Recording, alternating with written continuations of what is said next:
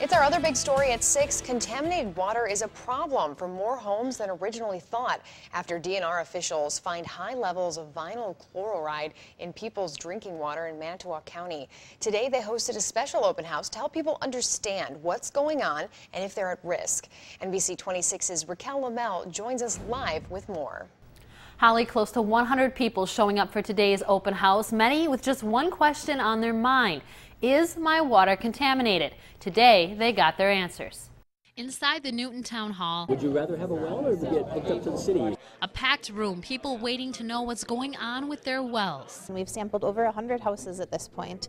Of those 100 houses, 15 of them um, have had detox in exceedance of the DNR drinking water standards. The contamination a result of the city allowing a gravel pit in the town of Newton to be a toxic waste dumping site for the area businesses back in the 60s and 70s. That practice discontinued later, but now homeowners like Jerry Hout paying the price. It is unacceptable at this point for to use our water for cooking or drinking. The city of Manitowoc providing bottled water to the Hout family while they continue testing the water. But Hout says he worries about what health problems could haunt him and his family in the future. I, I don't know if it's been contaminated from that point on since we've lived here. City officials say the side effects of the contaminated water would take a long time to cause damage, adding they don't believe anyone is facing health risks at this point.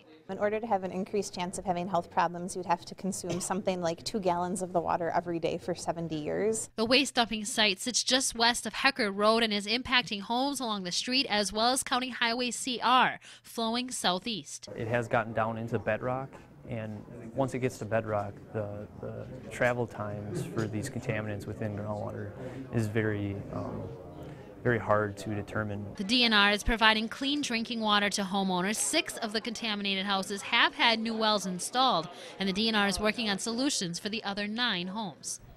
The level of contamination varies depending on where you live. And if you have questions or would like your water tested, you're asked to call the City of Manitowoc or the DNR.